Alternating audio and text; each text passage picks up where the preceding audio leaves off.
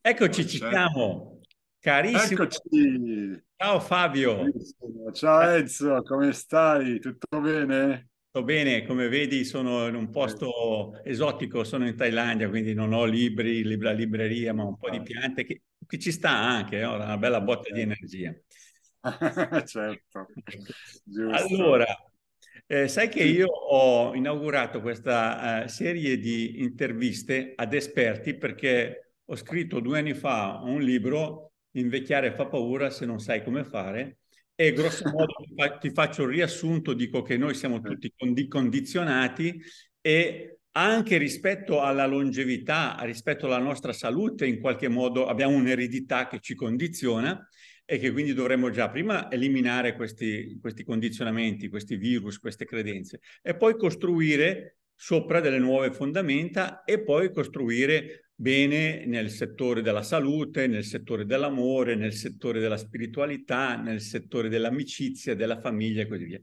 E sto intervistando, la faccio breve, intervistando esperti per ogni colonna. Quindi ho intervistato, che ne so, il dottor Claudio Pagliara per la salute e la vitalità, eh, Roberto Pesce, mio amico, per finanze e investimenti, eh, Marco Belzani per quello che è in, impresa, imprenditorialità, per performance in azienda e così via.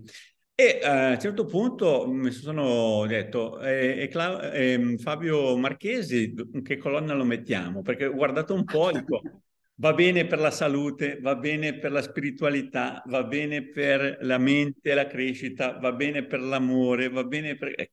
Quindi non ho una vera colonna, non ho una vera okay, colonna. Va bene. Come titoletto ho messo entusiasmologia, entusiasmologia. Giusto. Ma ti presento un attimo, poi tu avrai modo di correggere se ho dimenticato qualcosa. Allora, chi è Fabio Marchesi per chi non lo conoscesse? Allora, io ho una community longevity, appunto l'abilità di diventare longevi, sani, saggi e felici, con circa 3.000 persone che mi seguono e, e quindi cerco di fare queste interviste per portare loro argomentazioni, idee per diventare sani, longevi e felici. Eh, Fabio Marchesi, dottore in informatica, a orientamento quantistico, ingegnere, ricercatore indipendente, membro della New York Academy of Science, eh, inventore scrittore, eh, è il massimo esperto italiano in applicazioni terapeutiche della luce, autore di diversi brevetti di apparecchiature per il benessere basate sulla luce e di diversi libri bestseller che ho letto, tutti credo, come La fisica dell'anima, Amati, La luce che cura e così via. Ho sempre nel cuore molto la luce che cura, eh, tra l'altro ti dico.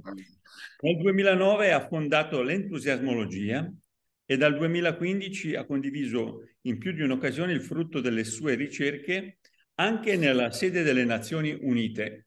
Vista l'intervista, bellissimo, complimenti. Tiene corsi e conferenze, eh, soprattutto adesso mi dicevi in Spagna, e il tuo sito che metterò poi in descrizione è entusiasmologia.com. Ok. Bene. Grazie. Che, mi dici? Che vuoi aggiungere? Ho fatto bene a, no, non inquadrarti, a, non inquadrarti, in una colonna, ma a darti più spazio? No. Ah, vabbè, secondo me io, no, io adesso non ho, non ho, presente le colonne che hai fatto, però di sicuro ci deve essere una colonna che riguarda la felicità, l'entusiasmo e l'ottimismo, non può mancare quello, no? E quindi io mi metterei lì, se fosse possibile. Poi, insomma, so, vedi tu, insomma, io... Probabilmente questa cosa qua, Fabio, eh, nel mio concetto è quando tu, eh, sia a livello fisico, a livello economico, a livello di relazioni d'amore, di amicizia e così via, eh, diciamo hai la mentalità un po' della vittima, che ti occupo di te perché non stai bene di salute, non stai bene con gli affetti, non stai bene questo, eh, sei tutto concentrato su, su, di te per salvarti, mentalità vittima. Eh appena riesci a risistemare il tutto e costruisci queste colonne un po' meglio, riesci a tenere su la cupola del tempio che è grazie all'entusiasmo, perché allora puoi dare, sbrodola fuori l'energia, il benessere, la gioia no? da te e allora ecco, l'entusiasmologia. Eh sì.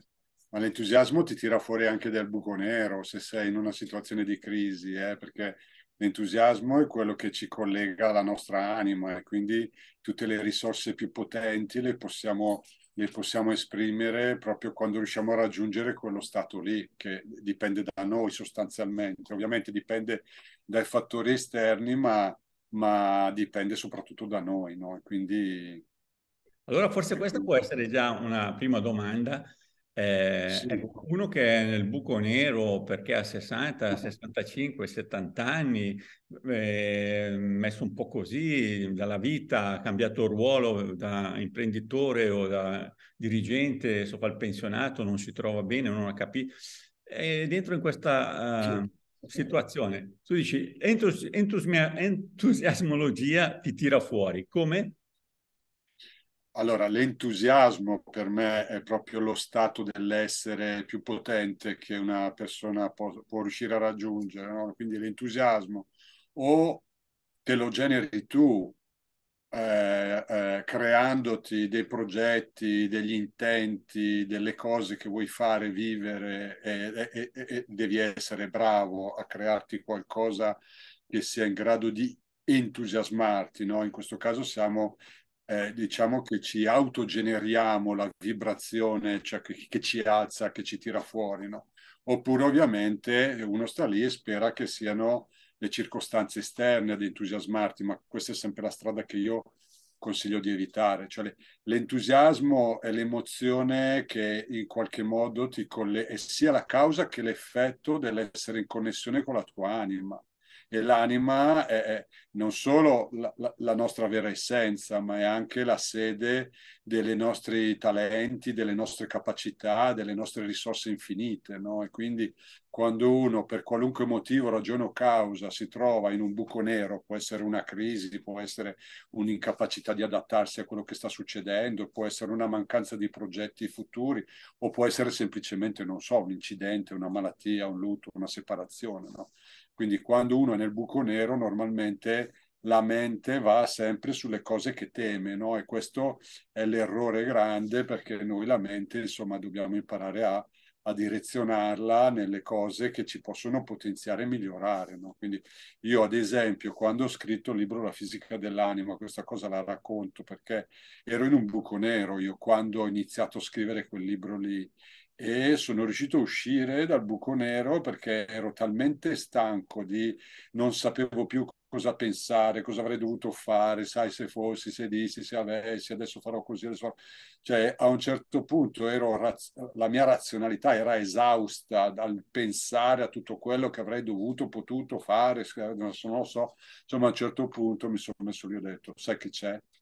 Io adesso eh, mi ero dato un anno di tempo all'epoca, no? adesso sono più ottimista, massimo mi do dieci giorni se dovessi capitare, però mi sono dato un anno di tempo, ho detto io tra un anno non so dove sarò, non so con chi sarò, non so cosa farò, ma so che sarò più felice di quanto sia mai stato in vita mia, più felice di quanto io sia mai stato in vita mia. Per cui un intento di più felicità che poi ho scoperto perché poi ho iniziato a scrivere la fisica dell'anima grazie a quell'intento lì ho scoperto un sacco di cose insomma però quando un intento è di felicità ed è evolutivo quindi non si, si deve accontentare di una felicità come quelle già vissute cioè bisogna sempre avere un'ambizione ad evolvere, a migliorare, a creare cose che, a vivere cose che non si sono già vissute, no? a pensare cose che non abbiamo mai pensato, a immaginare cose che non abbiamo mai immaginato. Così evolviamo. E, e, e, per me quell'intento lì è stato illuminante, mi ha tirato fuori dal buco nero, in due settimane ho scritto la fisica dell'anima e mi si è aperto un altro mondo, quindi un'ambizione di più felicità può essere sufficiente per tirarti fuori. Ovviamente qui c'è di mezzo tutta una cultura, un'educazione, insomma un metodo scientifico, un modello standard della realtà che è concepito proprio per creare persone incapaci, infelici, spaventate, competitive e devastate. Cioè noi abbiamo tutto dalla nascita in poi che come finalità ha sottometterci a qualcuno, no? Quindi serve un po' di coraggio perché bisogna sostanzialmente disobbedire. Come dici te, abbiamo tutti dei pregiudizi dentro che ci limitano, non sappiamo neanche questi, tutti questi pregiudizi che ci limitano, ma ce li abbiamo nella testa, no? Quindi serve un po' di follia, serve un po' di coraggio per fare un po' come, come diceva Cartesio, no? Cioè un bel diluvio, un iperbolico dubbio assoluto, metti tutte le tue credenze in un bel diluvio, ti tieni solo quelle due, tre, quattro idee che hanno prospettive future felici e ricostruisci tutto il tuo edificio del sapere non sulla base di quello che ti hanno raccontato gli altri, la televisione, il senso comune, l'educazione, la scuola, la società, ma sulla base della tua capacità intuitiva che devi per forza attivare. Adesso siamo in un periodo storico evolutivo dell'umanità dove una volta sopravviveva il più forte, poi eh, sopravviveva il più intelligente, adesso sopravvive quello che si accorge. Cioè che si accorge vuol dire che in mezzo a tante menzogne devi riuscire ad accorgerti di che cosa c'è di vero, no? E quindi, e quindi la capacità intuitiva, secondo me, è la cosa che va, che va a, su cui bisogna investire più, il più certo. possibile. E la capacità intuitiva è un effetto della connessione con la tua anima, quindi l'entusiasmo diventa non solo un'emozione positiva che ti fa star bene, che ti, che ti fa essere ottimista, ma diventa fonte di ispirazione, perché l'entusiasmo ti permette di accorgerti e che questo è, la, è, è secondo me, in questo momento storico dell'umanità, è la cosa più importante che dobbiamo imparare a fare. Sì. Ecco, tu hai parlato adesso, hai citato alcune volte anima e, e hai scritto il libro Fisica dell'anima, no? Sì. E, che ho letto. E, ehm, ma eh, per chi ci ascolta, l'anima ha una sua fisicità, com- come, come, lo spieghi? No, cioè, ecco. no allora io, io, vengo da un passato in cui ero un razionale, quindi credevo solo a ciò che osservabile, ripetibile e dimostrabile. No? Quindi come tutti i razionali sposi il metodo scientifico moderno pensando che sia una cosa bella e invece poi se, se vai a fondo ti accorgi invece che è estremamente limitante questa interpretazione razionale della realtà perché non è completa, cioè manca l'invisibile. No? Quindi eh, io, cioè, giocando, scherzando, dico sempre, io con la razionalità, cioè puoi muoverti emotivamente dalla disperazione al massimo alla serenità. No? Infatti i razionali li riconosci perché sono quelli che a Natale ti augurano sereno Natale. No? C'è la serenità, proprio la roba, è una roba tristissima, però per il razionale è la massima, no? ambizione possibile. Invece con la spiritualità, quindi anche con, noi sai che abbiamo due emisferi cerebrali, no? uno che certo. gestisce il visibile ed è razionale, funziona per causa-effetto, e l'altro invece nel presente, tutto interagisce con tutto, c'è solo il presente ed è quello spirituale, no? quello del, dell'immaginazione, della creatività e quello dell'invisibile e del mistero. No? Quindi io a un certo punto della mia vita ho vissuto un'esperienza che mi ha un po', diciamo, messo in crisi dal punto di vista della razionalità e ho iniziato ad interessarmi di filosofia ermetica. No? A parte, vabbè, avevo, avevo comunque una grande passione per la fisica quantistica, però insomma l'avevo studiata all'università, insomma non è che se la, se la, fisica quantistica l'approcci razionalmente, alla fine ti sembra una, una conoscenza come tutte le altre, no? serve, avere un, un, serve diciamo, avere una visione un po' più grande della realtà e, e, e, riguardo a questo a me mi ha aiutato tanto la filosofia ermetica, cioè la filosofia ermetica è stata una, un'altra passione che ho avuto dai 25 anni in poi, ho iniziato a leggere eh, Giordano Bruno, poi da Giordano Bruno, insomma, tutti gli alchimisti, Pico della Mirandola, Tommaso Campanella, insomma, ho fatto un periodo della mia vita che mi sono proprio appassionato di queste cose qua, dell'invisibile, no? Allora, poi a un certo punto ho detto, però, sarebbe bello riuscire a dimostrare l'esistenza dell'anima, no? Perché l'anima è sempre quella cosa che o ci credi, devi fare un atto di fede, però dico, non è che siccome l'approccio razionale prevede che tu per credere alle cose le devi vedere, le devi misurare, no? Quindi questo è l'approccio razionale. No? Quindi uno dice, ma l'anima ce l'ho, non ce l'ho, esiste, non esiste, chissà, no? Cioè, facciamo un esperimento, qualcosa per dimostrare che esiste l'anima, che noi siamo anima, no? Allora io che faccio l'inventore mi ero messo lì, ho detto adesso voglio inventare l'esperimento per dimostrare l'esistenza dell'anima, no? Se non che eh, grazie a un libro che stavo leggendo in quel periodo lì, no? eh, eh, Vibrational Medicine, stavo leggendo, medicina vibrazionale, no? praticamente io avevo già eh, studiato il fenomeno dell'entanglement, cioè l'azione a distanza, anche teorema di Bell, insomma, viene messo sotto tante forme questo fenomeno, no? Però ecco, una cosa positiva per l'umanità è che lo sai che quest'anno, eh, cioè l'anno scorso, è stato dato il premio Nobel proprio ai tre che hanno dimostrato che il fenomeno dell'entanglement è un fenomeno reale, quindi, ed è secondo me una delle più grandi conquiste della storia della conoscenza umana, perché questo fenomeno qui è quello che indirettamente dimostra l'esistenza dell'anima, cioè non c'è bisogno di fare un esperimento per dimostrare l'anima, perché la fisica quantistica, grazie al fenomeno dell'entanglement, quindi dell'azione a distanza, eh, dimostra indirettamente il fatto che ogni cosa che esiste, cioè che lo, che lo, diceva, lo dicevano tutti, cioè da, da Ermete Trismegisto in poi, cioè, si è sempre parlato di questa anima, no? Cioè Leibniz, Giordano Bruno, tutti sempre che parlano dell'anima, però uno razionale dice, vabbè, ma come, come me la dimostri che ho l'anima? Come me lo dimostri? Te lo dimostro col fenomeno dell'entanglement. E quindi per me è stata, è stata un'illuminazione, infatti da lì poi ho scritto la fisica dell'anima, dove sono partito dai fenomeni quantistici, quelli più sconfinanti, in particolare l'azione a distanza, questo l'entanglement, proprio per arrivare alla dimostrazione che ogni cosa che esiste ha un'anima e da lì derivare tutte le implicazioni, cioè che cosa, che cosa, co- come cambia la nostra interpretazione della realtà eh, se, se, accettiamo e riconosciamo il fatto che ogni cosa che esiste ha un'anima, no? come diceva anche Leibniz, per dire la, mon- la monade, no? la, l'atomo spirituale, no? e, e la realtà cambia completamente, perché un'idea dove tutti siamo separati, soli, in competizione uno contro l'altro, che è un'idea devastante, che non può che rendere infelice tutti perché è contro la nostra natura, si entra in una visione della realtà dove ognuno in realtà è anima e, e l'anima, e questa è la cosa sconfinante, è onnipresente nello spazio e nel tempo. Quindi io non sono solo qua in un universo infinito, impotente, che spero che l'universo sia buono con me. Cioè tu sei, noi siamo potenti nel senso che l'universo ce l'abbiamo dentro.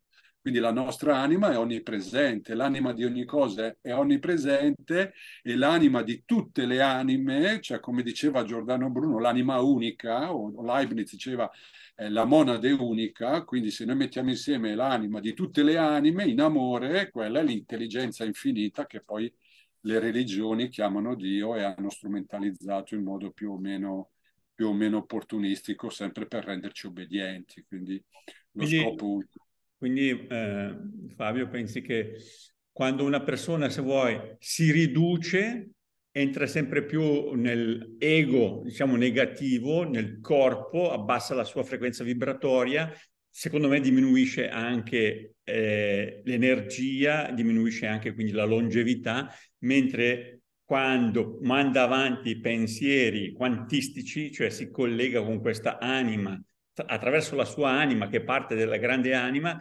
probabilmente invece di consumare energia, riceve energia e da lì fenomeni come nel passato, in altre epoche, dove si parla di esseri vissuti 969 anni, perché probabilmente usavano nell'energia invece di consumarne e, e, e conciarsi da buttare via, no? Una cosa del genere.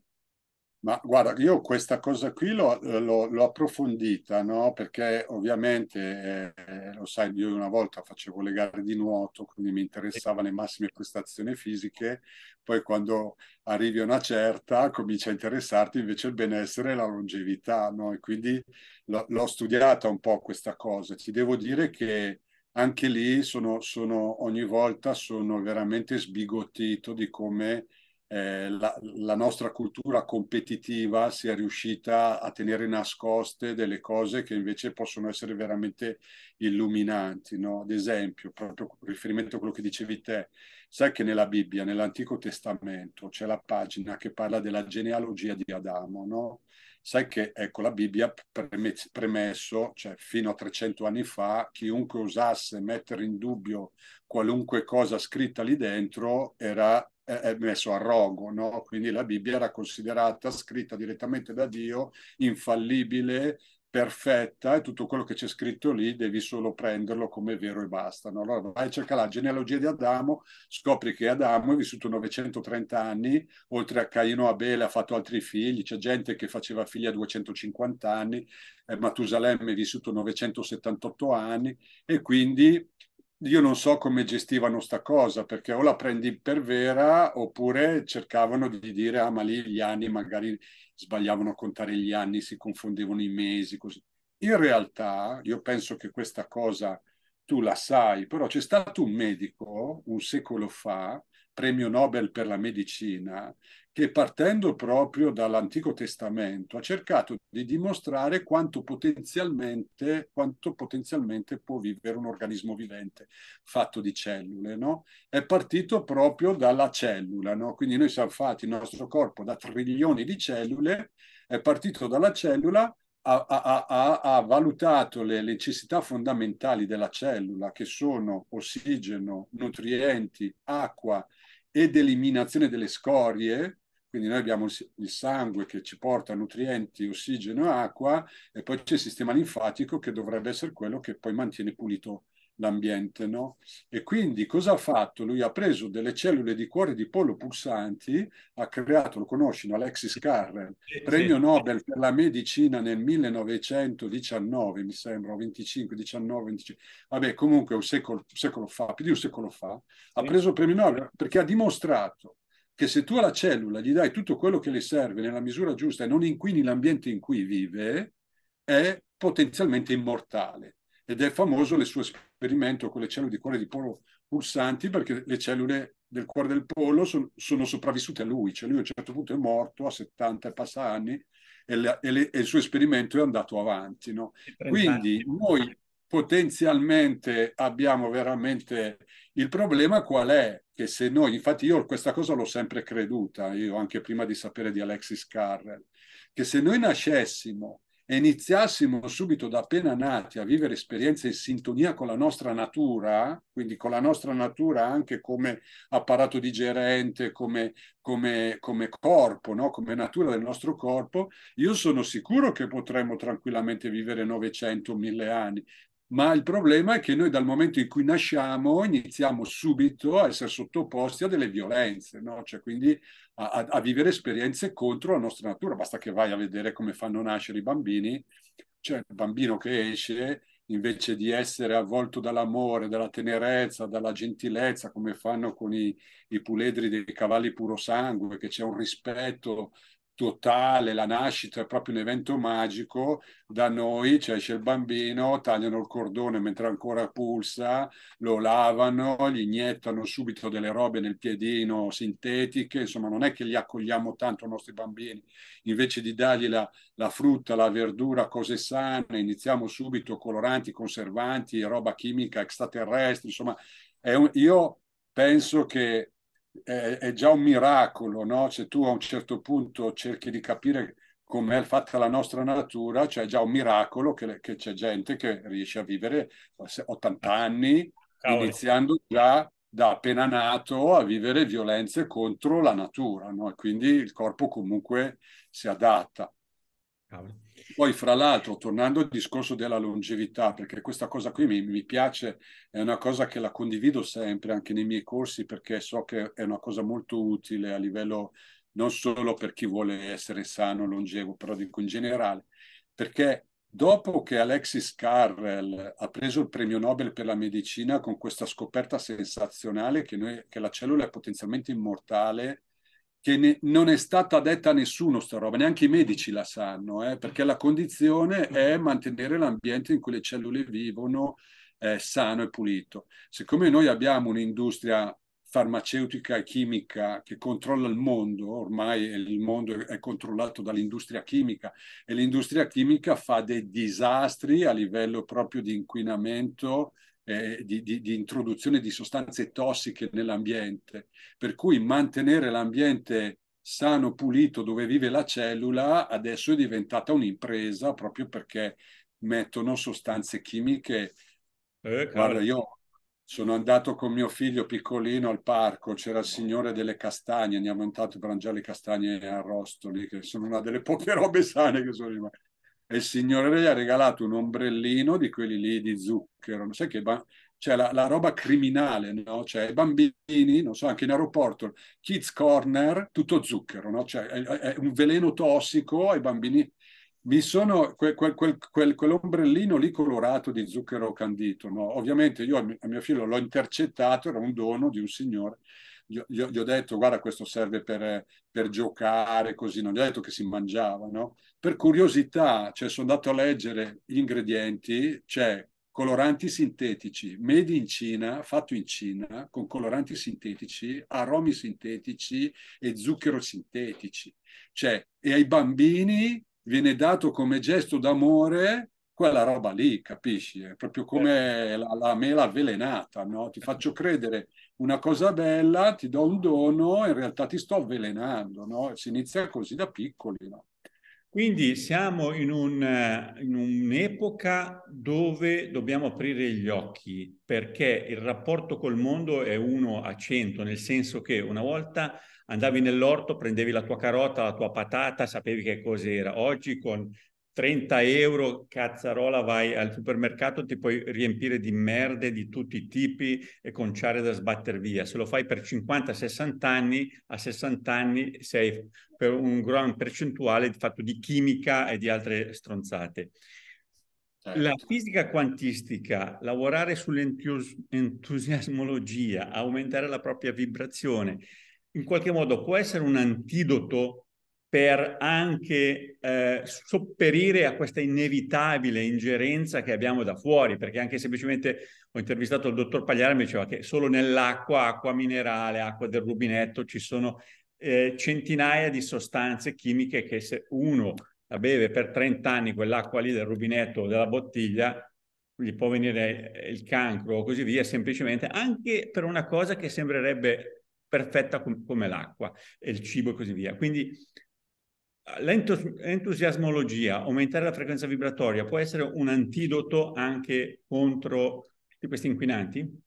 Allora, io penso che tu puoi rimanere con la mente, col cervello giovane per eh, secoli, cioè il problema qui è salvaguardare il corpo, no? Quindi abbiamo due approcci, secondo me, che si possono seguire. Uno è quello ovviamente di cercare di ridurre il più possibile gli inquinanti che introduci e migliorare lo stile di vita, l'alimentazione, insomma ovviamente sono tutte cose che ti devi scoprire da solo perché se vai ad ascoltare i dietologi o le, le persone che parlano di alimentazione in televisione, tra una pubblicità di hamburger e una di mozzarelle, sei completamente fuori strano. Eh sì. E quindi per quello che comunque bisogna essere intuitivi per accorgersi anche perché gli inganni, le menzogne sono ovunque, no? coloranti artificiali, aromi artificiali, sapori artificiali, tutto artificiale è diventato, quindi siamo facilmente ingannabili da quel punto di vista. Quindi da una parte, secondo me, bisogna comunque migliorare ciò con cui nutriamo il nostro corpo e, e, da questo punto non considero solo il cibo, ma considero anche la luce, l'aria, l'acqua, insomma tutto. Dall'altra parte è importante anche che ci potenziamo alzando la vibrazione, no? quindi come, come, hai detto tu giustamente, uno dei, dei fondamenti della fisica quantistica è che tutto vibra, tutto è in movimento, non c'è niente di fermo, no? quindi la differenza tra la fisica classica e la fisica quantistica che la, la, fisica quantistica ha rivelato questa particolarità, quindi elettroni, protoni, atomi, è tutta una vibrazione, tutto un movimento. No? Fra l'altro le scoperte recenti in campo quantistico hanno dimostrato che all'interno di un campo che ha una sua vibrazione, quando ci sono due elementi che hanno la stessa vibrazione, questi si attirano. No? Quindi anche questa è una cosa importante, no? Quindi se io riesco ad alzare la mia vibrazione, non solo vedrò la realtà in modo diverso, ma la realtà diventa diversa nei miei riguardi. No? Quindi questa è l'altra cosa importantissima. Io, infatti, tutti i corsi che faccio, anche quelli prima erano solo i corsi esperienziali, li avevo chiamati così proprio perché per imparare proprio ad alzare la vibrazione. No? Alzare la vibrazione è una roba che si può fare, si può fare da soli, e io ho per me i maestri in assoluto di questo sono stati eh, Giordano Bruno. Giordano Bruno è il maestro della trascendenza e dell'immanenza. No? Immanenza io è un esercizio che faccio fare anche proprio come meditazione così, è generare dentro di te la sensazione che qualcosa di bellissimo sta per accaderti. No? Tu quando riesci a generare questa sensazione e ad alzare la, la tua vibrazione, perché questo è un altro eh, elemento fondamentale. Se noi approcciamo la realtà in modo razionale, quindi causa-effetto, allora tutti tristi, lamentosi, vittimisti, pessimisti sono lì ad aspettare che succeda qualcosa di bello per alzare la loro vibrazione, no? quindi a dipendere da, dall'esterno. Ma in realtà cioè, noi siamo sistemi vibranti, noi siamo sistemi risonanti e la prima cosa in assoluto da cui dipende la nostra vibrazione non è l'esterno, ma è l'attività della nostra mente. Quindi quando noi riusciamo a essere ottimisti, quando abbiamo progetti futuri che ci entusiasmano, quando riusciamo ad immaginare quello che desideriamo, quindi a dare attenzione, energia a quello che vogliamo, che ci piace, che ci rende felici, invece di dare attenzione a quello che temiamo, e, e, quello che è successo in questi tre anni, secondo me, è, è illuminante perché io ho, l'ho vissuta dall'Italia e, e l'Italia è stato veramente devastante perché tutti i personaggi dell'informazione sembravano tutti d'accordo su un'unica cosa, terrorizzare la gente, terrorizzarla, spaventarla e creare odio e separazione tra le persone. No? Questo è proprio il contrario di quello che la fisica quantistica ci insegna. Cioè la fisica quantistica ci insegna che noi non siamo separabili, noi dobbiamo collaborare, dobbiamo essere amici, dobbiamo volerci bene, perché la realtà non è competitiva, la realtà è collaborativa. Protoni, elettroni,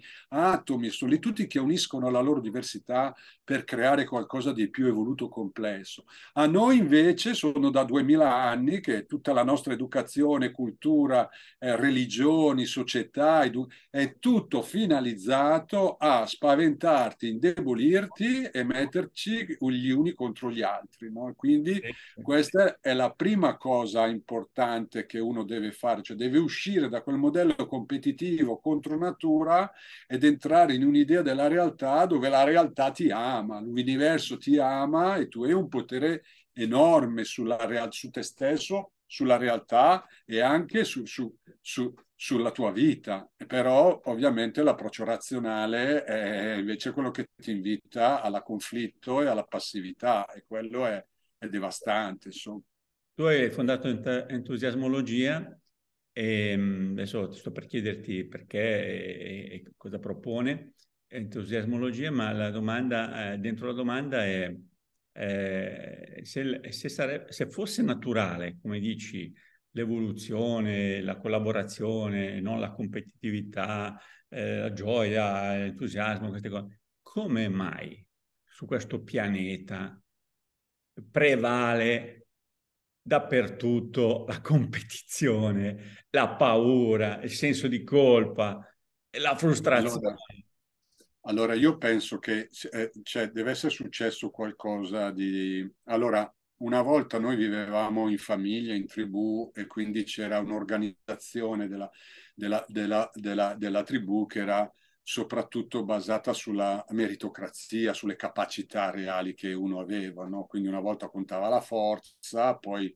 eh, ha iniziato a contare la saggezza, no? quindi l'intelligenza, la capacità di prevedere i problemi invece che semplicemente di risolverli, no? solo che poi noi siamo cresciuti progressivamente di numero e diciamo che crescendo di numero è stato necessario in qualche modo trovare un'organizzazione. No? E l'organizzazione, diciamo, più banale che viene in mente è quella gerarchica, dove quello che sta sopra comanda quello che sta sotto.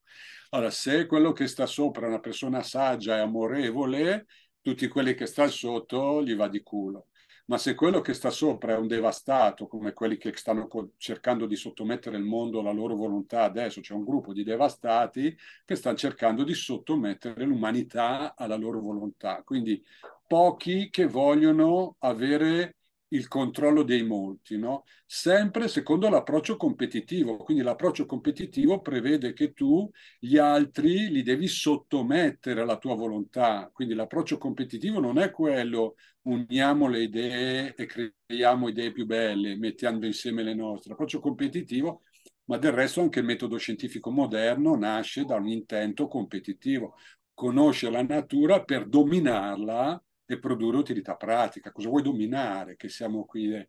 Vabbè. Quindi secondo me è successo questa cosa, no? che c'è stato qualcuno in passato che è riuscito ad acquisire potere sugli altri e invece di avere ambizioni fraterne, amorevoli, evolutive, ha pensato che il modo per mantenere il potere e arricchirsi fosse quello di sottomettere tutti alla loro volontà. E la sottomissione tu ce l'hai, e l'abbiamo visto in questi tre anni, con la paura e con quel famoso detto con cui gli antichi romani andavano a conquistare territori dividi e impera, no? Dividi e impera, Cosa, come fai? Cioè, come fanno 100 a controllare un milione di persone? 100 persone come fanno? No? Cioè, trovano delle scuse per creare degli schieramenti, mettere un, gruppo contro un altro gruppo, no? dividi, metti le persone le une contro le altre e a quel punto tu puoi imperare, perché sono tutti presi all'odio reciproco, alla competizione reciproca, c'ho ragione io, c'ho ragione te, sono più bravo io, sono più bravo te, e noi abbiamo quattro imbecilli che, devastati che controllano l'umanità perché l'umanità è tutta lì che litiga uno che litiga con l'altro. No? E tu pensa, non so, la televisione, tutti i giornali, tutto, no? c'è sempre eh, lo schier- cioè questo è bravo, questo è cattivo, quello è da odiare, quello è da... C'è tutta una roba così, è tutto un ipercriticismo reciproco che alla fine cosa fa? La paura ti indebolisce, abbassa la vibrazione, ti acidifica. Quindi la paura è proprio la cosa prima che ti fa invecchiare, che ti fa ammalare, perché quando uno è spaventato si ammala o diventa cattivo. E noi in questi tre anni diciamo che tutti gli organismi di comunicazione, l'obiettivo era spaventare la gente, obiettivo spaventare la gente. E poi c'è questo fatto qui, la nostra natura è collaborativa, no? Cioè il più, il più, importante studio che sia mai stato fatto nella storia dell'umanità sulla, su, sull'essere umano per scoprire che cos'è che ci rende davvero felici, il Grant Study, quello americano che era partito con JF Kennedy, è, è arrivato alla conclusione che quello che ci rende davvero felici sono le, le relazioni felici, cioè la, le amicizie o avere rapporti di parentela, di amici, ma amici non secondo il modello Caino Abele, fratello che uccide il fratello, e Giuda che tradisce le, le, non quei modelli competitivi lì, che anche le religioni nascono da quei modelli lì, no? Cioè il modello, cioè se io ho degli amici che mi vogliono bene, che mi sostengono, cioè questa è, è, la, è la vera nostra natura, cioè essere collaborativi, volerci bene, e tant'è vero che quella è stata studiata essere la prima, la, la prima fonte di felicità di un individuo, soprattutto dopo una certa età. Quindi non è la ricchezza, non è il successo, è avere relazioni d'amicizia costruttive.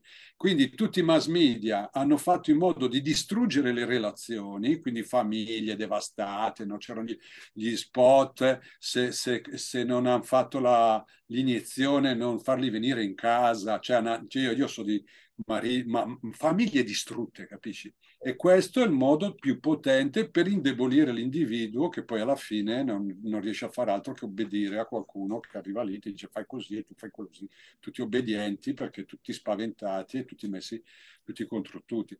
Comunque l'entusiasmologia io l'ho fondata proprio perché quando mi sono accorto che tutto ciò che è razionale è basato su quest'idea che, che è, è, è, sbagliata, perché anche lì no? cioè Darwin ci ha dato quest'idea che è tutta una guerra là fuori dove vince il più forte, no? cioè, pensi, in realtà non è così, perché la natura non è una guerra dove vince il più forte, la natura è tutta una collaborazione. No? Tu pensa solo al fatto che noi respiriamo ad aria con ossigeno e, e le piante producono eh, eh, respirano aria carbonica e danno ossigeno, no? Quindi noi, la natura è tutta, è tutta collaborativa, no? Però noi abbiamo, siamo stati educati a quella roba lì della solitudine, della competizione che è devastante, ci indebolisce, ci serve per renderci obbedienti a quei quattro. Per cui Entusiasmologia io l'ho chiamata proprio l'arte, non la scienza, perché la scienza è limitante, perché parte da un approccio competitivo, quindi non una religione, perché le religioni, insomma, cioè, quella più recente ha 1500 anni, insomma, cioè, adesso qua bisogna un attimo aggiornarci con la visione della realtà, no? Quindi non è una scienza, non è una religione, è un'arte, no? e quindi l'arte di rendersi felici e fortunati perché la fortuna non è una roba casuale, no? come la salute. No? Tu che essere sani, malati è questione di fortuna. No, cioè sei tu che ti crei la tua salute, sei tu che puoi potenziare il tuo sistema immunitario, sei tu che ti puoi creare la vibrazione, quindi alzare la vibrazione. Tutti cercano di abbassarti la vibrazione per sottometterti, tu te la alzi, impari ad alzartela e inizi a questo punto, a quel punto ad attirarti quantisticamente eventi felici. Quindi la fortuna non è la dea bendata che colpisce qualcuno o no. La fortuna è raggiungere una consapevolezza che ti permette di uscire da questo modello, eh, diciamo, standard, competitivo, infelice ed entrare in una visione più costruttiva dove ovviamente il primo a beneficiarne sei tu, però lo sai meglio di me, cioè ogni persona che diventa felice è un rompicoglioni in meno in giro, perché gli infelici, eh no, sono quelli che fanno tutti i danni, sono gli infelici. Eh.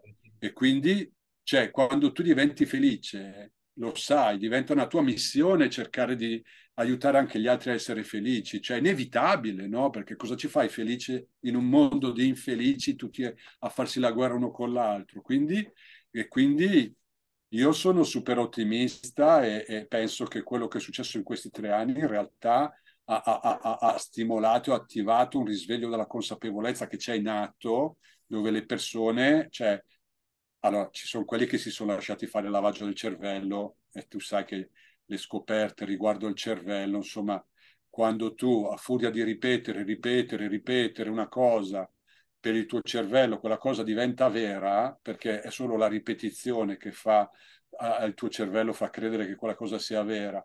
Poi tutte le volte che ti arrivano informazioni che confermano una tua credenza, si libera dopamina, tu provi piacere. Tutte le volte che ti arrivano delle informazioni che, che contraddicono una tua credenza, tu le eviti, no? Quindi tutti quelli che si sono fatti fare lavaggio del cervello stando davanti alla televisione, adesso prendono e accettano solo le informazioni false che confermano quello che, che sono stati portati a credere e ovviamente hanno una visione della realtà che non corrisponde più alla realtà. No? E, e quello che sta succedendo adesso è quella roba lì, cioè a, a, gente che ha iniziato a mentire due anni e mezzo fa dicendo delle menzogne, eh, adesso sono lì a, a, ripetere le stesse menzogne, due anni e mezzo con tutto quello che è venuto fuori e c'è gente che invece ha proprio il paraocchi, vede solo quello che conferma quello che crede. Okay, Fabio, quindi... prima hai detto che in qualche modo eh, ti auguri che tutto ciò abbia stimolato un, più consapevolezza, più coscienza, no? Certo. Eh, vedo proprio che uh, cresciamo attraverso le difficoltà, la prima elementare, la seconda elementare, l'esame, la quarta elementare, la quinta elementare, eh, la, la, la, delusione con la fidanzata l'incidentino, eh, sviluppiamo coscienza. Quindi quasi è un'operazione planetaria di sviluppo della, della, coscienza, perché una parte ci lasceranno le penne probabilmente, no? cioè non ce la fanno andare oltre, ma eh, come dire, c'è da augurarsi che da un punto di vista del, della grande monade, non quella personale, della grande coscienza, tutto ciò abbia un senso. Certo.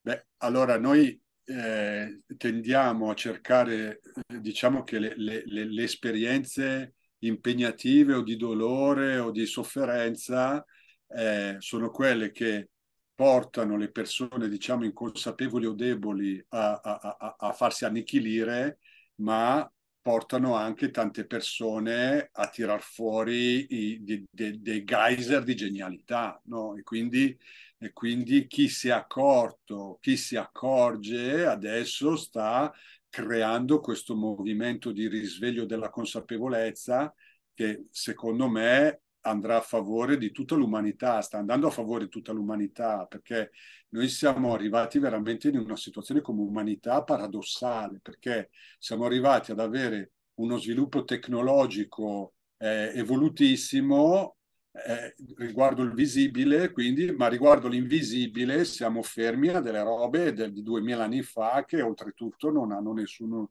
nessuna corrispondenza con la realtà. No? Quindi tutte le scoperte più importanti della fisica quantistica sono state applicate nell'elettronica, in tutti i circuiti elettronici, sai, telefonini, computer, esistono grazie alla fisica quantistica. La fisica quantistica ha fatto fare un progresso enorme, però noi siamo rimasti dentro in quel modello da trogloditi, io dico, quel modello competitivo lì, è, è il modello della belva, che cioè vita mia, morte tua, no? Cioè quel modello lì è quello che ha modellato tutta la nostra cultura, tutta la nostra società. Anche l'alimentazione contro la nostra natura deriva da quel modello lì, perché l'idea di mangiare animali uccisi, torturati, trattati malissimo, è anche quello lì un effetto del modello competitivo, no? Vita mia, morte tua, roba da preistoria quando invece le, le, scoperte della fisica quantistica, ad esempio, no? perché quello che ti insegna la fisica quantistica, queste cose qui delle relazioni,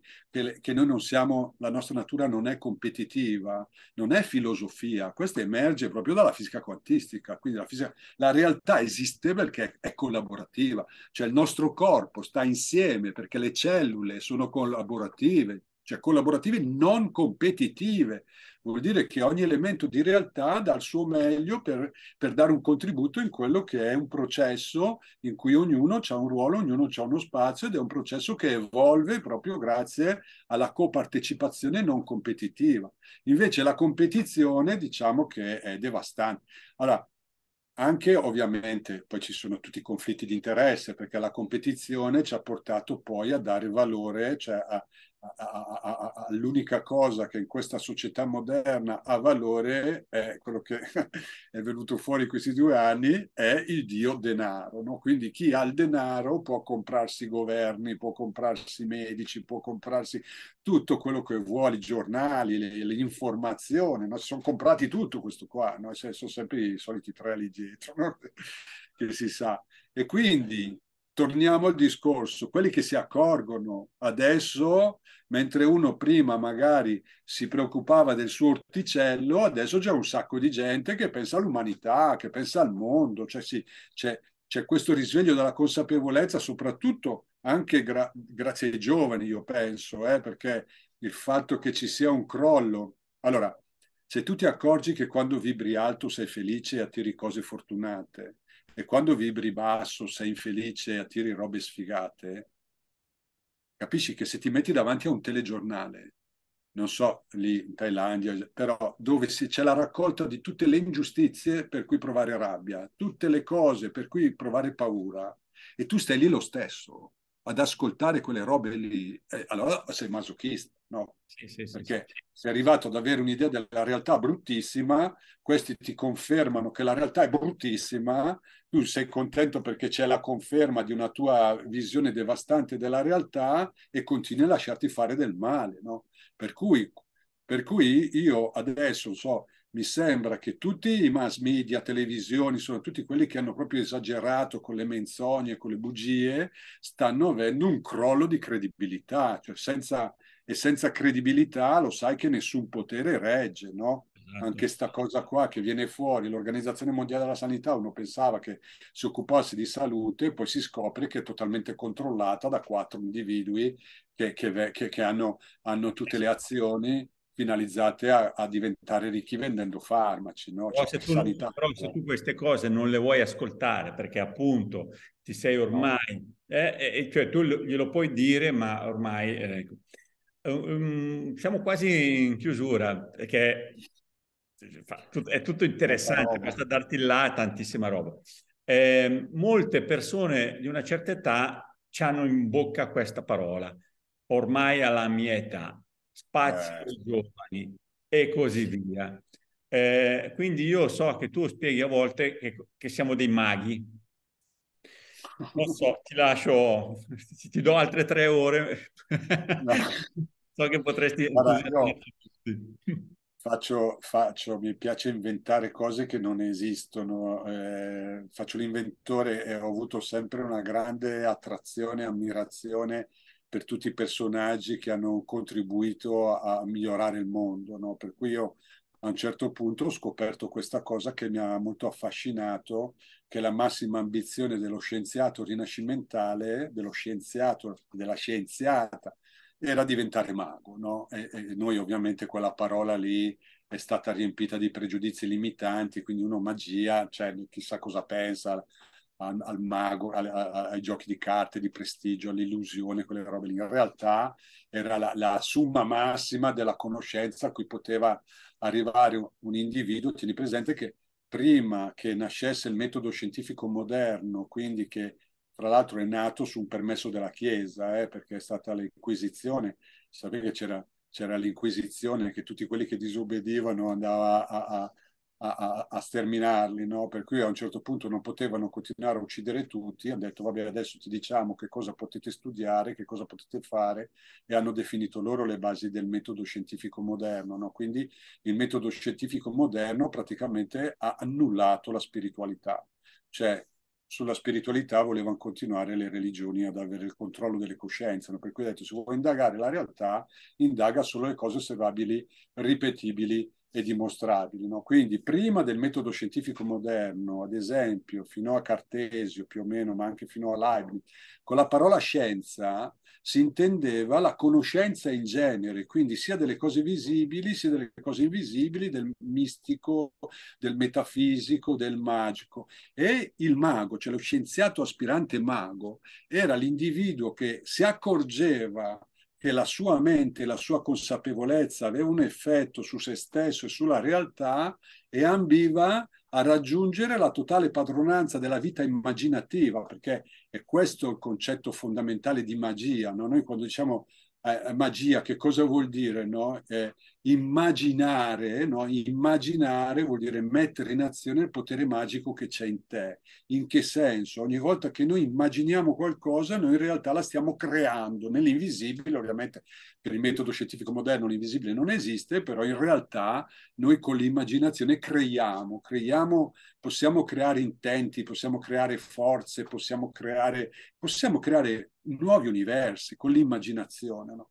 Quindi questa cosa ovviamente non c'è mai stata spiegata, non c'è mai stata detta, quindi il pessimista che, che non lo so, cioè, faccio gli esercizi, faccio fare gli esercizi, no? chiediamo a un trentenne come si immagina a 80 anni, no? Come si immagina un trentenne a 80 anni? Cioè, quello è il problema, perché te a 30 anni ti immagini quando ne hai 80 con la flebo, l'ospizio abbandonato da tutti. Te in realtà stai creando quella cosa lì. E quindi noi, cioè quello che maggiormente potenzia e può far vivere a lungo una persona, è proprio mettersi nel futuro dei progetti futuri entusiasmanti e immaginare quello che tu vuoi vivere, dare attenzione a quello che tu vuoi vivere, perché così lo rendi più probabile. E quindi è questa, diciamo, è un'arte, perché per raggiungere la padronanza della tua vita immaginativa Cos'è che ti impedisce di immaginare solo quello che desideri e non di immaginare quello che non vuoi? Torniamo alla paura come strumento di controllo delle masse, come strumento di autolimitazione dell'individuo. Quindi se io immagino e do attenzione a quello che temo, io lo rendo più probabile quella roba lì. Se io immagino e do attenzione a quello che desidero, infatti io tutte le volte che faccio i corsi anche su, su, su come potenziarsi mentalmente, la prima cosa che faccio è c'è una meditazione, cioè adesso ci immaginiamo a 160 anni, bellissimi, sanissimi, felicissimi, che facciamo delle robe super atletiche e questa è una roba che tu metti nel tuo futuro che magari ti sembra follia, però dal futuro poi inizia a condizionarti nel presente, ti fa cambiare i gusti, ti fa cambiare le, le, sensi, le, le simpatie, le antipatie. Ovviamente se tu ti metti un'immagine di te a 160 anni sanissimo, non puoi continuare a nutrirti e a fare cose contro la tua natura. Per cui un intento di quel tipo lì nel futuro poi ti permette di avere le intuizioni che poi ti servono per accorgerti di come stanno le cose davvero. Che, Guarda, condivido con te perché nel mio libro ho proprio proposto un esercizio di questo tipo. Di, eh, io sono, ho 60 anni, quindi l'esercizio dice torna indietro come un ascensore ogni 10 anni, no? torna alla tua infanzia, poi risali ricordando ogni 10 anni che tipo di coscienza avevi e cosa facevi, quindi l'essere e il, fare, l'avere, e poi prosegui, eh? vai a 70 anni e quindi chiudi gli occhi, immaginati chi vuoi essere e, e come lo vuoi, e, e, attraverso quali strumenti lo manifesti, poi a 80 anni, a 90 anni, a 100 anni, a 110, 120.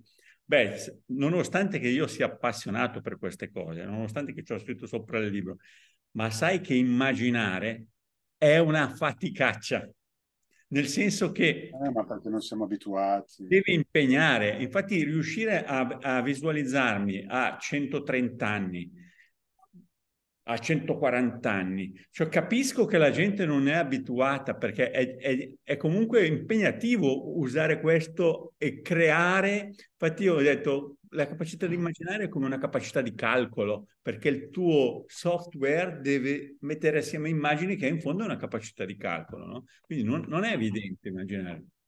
Allora, il problema è che noi abbiamo i due emisferi cerebrali, quello razionale eh, del visibile e quello spirituale femminile dell'invisibile. No? Allora, questo qua razionale è come la tecnologia moderna, evolutissimo, quello spirituale atrofizzato. Siccome l'immaginazione è nella sede del cervello spirituale, la fatica è proprio perché bisogna far rifunzionare quel cervello lì.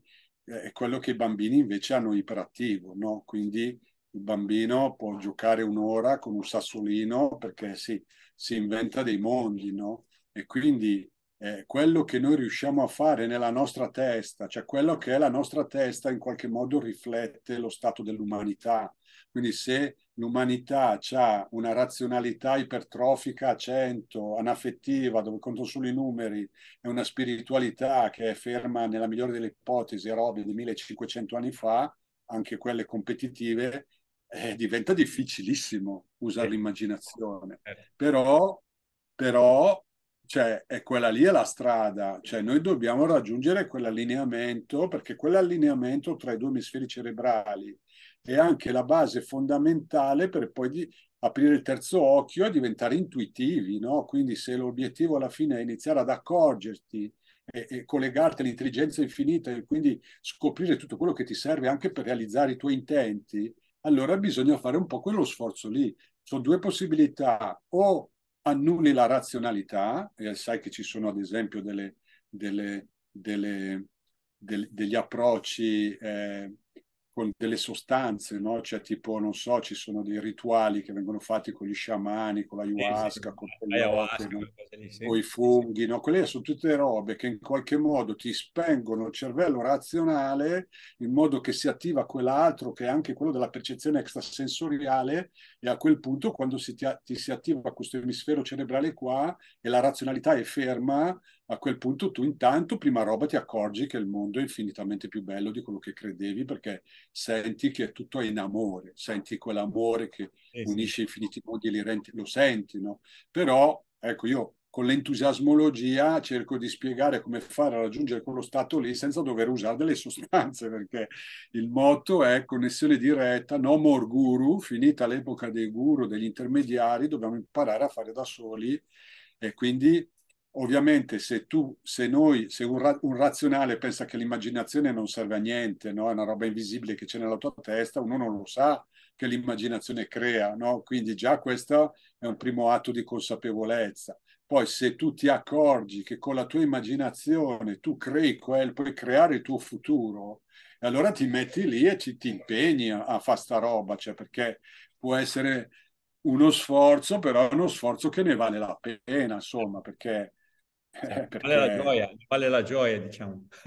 Poi guarda, io eh, sì, a me, per me sono stati illuminanti. Guarda, io quando ho ripreso a fare le gare di nuoto master a 45 anni eh, e ho scoperto una realtà, cioè non, non mi dimenticherò mai la, quando ho visto la gara del nuoto master, c'è un giapponese di 93 anni che ha fatto il record mondiale della categoria over 90 nei 200 delfino in vasca lunga. Cioè io l'ho guardato sbigottito, cioè, ho detto questo c'ha 93 anni, sembrava un trentenne da fuori, capisci? Cioè E so, so, sono andato a vedere, c'era la, la, la, piscina dove stavano facendo i tuffi, c'era la piattaforma da 10 metri, categoria over 85. Cioè vado lì, ma no, non sto scherzando. Eh. C'è una realtà di gente che se ne frega del senso comune, delle idee.